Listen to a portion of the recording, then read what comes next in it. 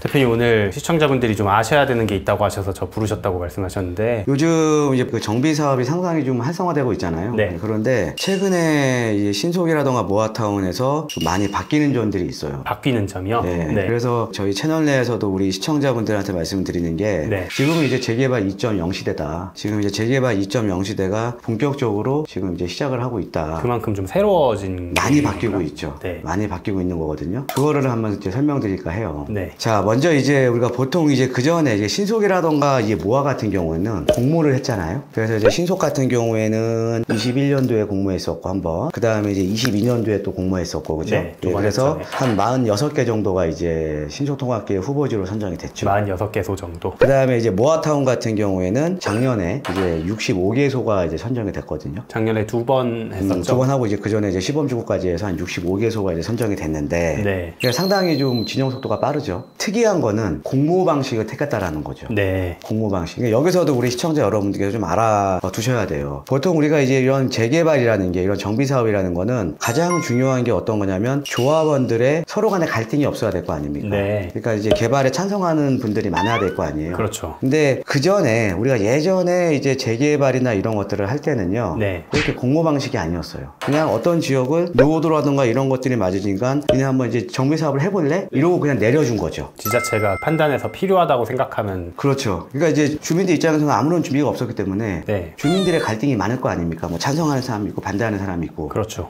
그러다가 사업이 자초를 해버리는 경우도 상당히 많았거든요. 네. 그래서 우리가 이제 구역 지정도 해제되고 그냥 이런 폐단을 막기 위해 했던 게 공모 방식이었어요. 음. 이 공모 방식은 뭐냐? 아까 말씀드렸듯이 신속이라던가 모아라던가 일단은 주민들의 어느 정도의 의견 수렴을 하고 이렇게 의견 수렴이 됐으니 우리 이렇게 이렇게 신속이라던가 모아타운으로 지정해 주세요. 네. 자 그러면 예전하고 틀려진 게 주민들의 갈등을 최소화시킬 수 있는 방법이 이제 뭐냐를 생각해서 냈던 게 공모 방식이었다라는 거죠. 음. 예, 그러니까 상대적으로 이런 신속이라던가 이제 모아타운 같은 경우는 과거에 비교해 봤을 때 어찌됐든 주민들의 의견 수렴을 통해서 가는 거기 때문에 사업 진행 속도가 상대적으로는 빠르겠죠. 그 과정을 한 번 더 거치지 않아도 그렇죠. 예, 그래서 우리가 이제 공모 방식을 이제 택했다라는 거죠. 네. 대표님 그 주민 제한 방식으로 바뀌었다는 건 저희가 음. 채널에서 여러 번 소개시켜드린 적이 있는데 이번에 뭔가 또 새롭게 바뀐 게 있으니까 또 알려주시려고 하시는 거잖아요. 음. 그렇죠. 이 공모 방식이라는 게 딱 날짜를 정해서 그때 공모를 했던 거잖아요. 그렇죠. 예, 신속통합계획 같은 경우는 연에 한 번, 그 다음에 이제 작년에 이제 모아타운 같은 경우는 두 번에 걸쳐서 공모를 했거든요. 추가 공모까지요. 예, 두 번에 걸쳐 공모를 했는데 이제는 수시로 하겠다라는 겁니다. 수시라고 하면 네, 그러니까 신속통합계획은 매월 수시로 접수하겠다. 한 달에 한 번이요. 그렇죠. 그 네. 다음에 모아타운 같은 경우는 원하는 지역은 언제든지 받아주겠다. 오. 자, 그러면 우리가 이제 공모 방식은 공모일에만 우리가 할 수가 있었는데 그렇죠. 이제는 그게 아니라 이제 수시로 가게 되는 거잖아요. 음. 그러니까 어떻게 보면 어, 예전에 제가 채널에서 한번 말씀을 드렸을 거예요. 그때만 해도 모아타운밖에 안 나왔거든요. 어, 제가 그때 수능이랑 제가 그때 비교를 한번 해드렸어요. 아, 네. 수능 볼 때 우리가 정시가 있잖아요. 그렇죠. 네, 정시가 아니라 이제 수시로 간다. 어, 그러면 음. 만약에 저희가 공모를 했다가 떨어지더라도 예전에는 1년 동안 좀 기다려야 된다는 좀 그렇죠. 어느 정도 페널티가 있었는데 그게 사라졌다고 봐도 무방하죠. 그러니까 만약에 내가 공모가 들어갔다가 떨어진 지역들도 어떤 이유 때문에 떨어졌을 거 아니에요. 네. 네, 그거에 대한 것들을 치유를 해서 다시 또 곧바로 또 들어갈 수가 있다라는 거죠. 보완하고 언제든지 또 다시 그렇죠. 신청을 할 수 있고. 예, 예. 네. 음. 그러니까는 어떻게 보면 이제 수시로 간다라는 거는 주민들의 의견 수렴이 더 중요해지는 거잖아요. 네. 우리가 어찌됐든 정비 사업은 주민들의 의견 수렴이 상당히 중요한 건데 그렇죠. 예전에 그런 갈등을 최소화시켜서 공모 방식으로 가- 했던 거고 그 다음에 공모 방식에 지금 한 발 더 나아가서 이제 수시로 접수하겠다 라는 거는 주민들의 의견 수렴이 더욱더 이제 중요해졌다라는 거죠. 음. 네, 그러면 뭐 사업에 대한 속도도 과거하고 비교해 봤을 때는 상당히 좀 빨라질 수밖에 없다라는 거죠.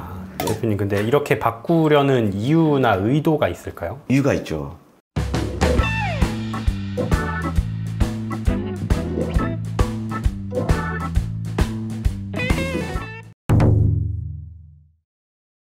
그러니까 중요한 거는 서울에 주택을 공급할 데가 없는 거예요. 음. 우리가 그동안 서울에 30년, 40년 동안 했었던 그냥 일반적으로 알고 계시는 재개발. 재개발. 재개발을 통해서는 이제 서울에 주택 공급이 안 된다라는 거죠. 어, 재개발은 주택 공급을 못 하는 건가요? 이 저층 주거 지역은 많은데 네. 재개발 노후도를 맞출 수 있는 지역이 별로 없다라는 거죠. 아, 노후도를 맞출 지역이요? 예, 그러니까 그런 지역들도 이제 별로 안 남았는데 신속하게 구역 지정을 해주겠다라는 게 신속 통합 계획이고 네. 그리고 이제 노후도가 안 맞는 지역들은 개발을 해주려면 노후도 요건이 완화가 완화가 돼야 될 거 아닙니까? 그렇죠, 네. 대부분 현재 지금 남아 있는 빌라촌들. 그러니까 이런 지역들 같은 경우에는 모아타운으로 가는 거죠. 노후도 요건이 완화가 돼서. 음. 그러니까 이렇게 지금 수시로 이렇게 바뀌게 된 이유가 어찌 됐던 서울에 꾸준하게 신규 아파트 공급을 유지시켜주기 위해서. 왜? 서울에 주택 공급이 안 되면 수도권 지역까지 다 퍼져 나가니까. 네. 사실은 어떻게 보면 주택 시장을 안정시키겠다는 의도가 상당히 큰 거죠. 이런 모아라든가 어찌됐든 신속이라든가 오늘은 요 내용은 아니지만 역세권 시프트라든가 네. 이런 것들을 통해서 도심의 충분한 주택 공급 을 확대시켜 주겠다라는 내용인 거죠. 예, 그래서 이렇게 수시로 좀 바뀌고 있다라고 좀 이해를 하시면 될 것 같습니다. 그러니까 쉽게 말하면 재개발이 더욱 활성화될 수도 있다는 거네요. 안 그러면 이렇게 계속해서 바꿔나갈 이유가 없으니까. 그렇죠. 그러니까 재개발 사업, 그러니까 정비 사업을 활성화시켜주기 위해서 지금 이렇게 하는 거죠. 그러면 그 수시 신청으로 바뀌게 되면 저희 채널은 아무래도 투자자분들이 많이 보시니까 투자자 입장에서 좀 어떻게 대응을 해야 되는지 이것까지 좀 말씀해 주시면 감사하겠습니다. 어, 일단은 이거 신속 통합 계획으로 지금 46개.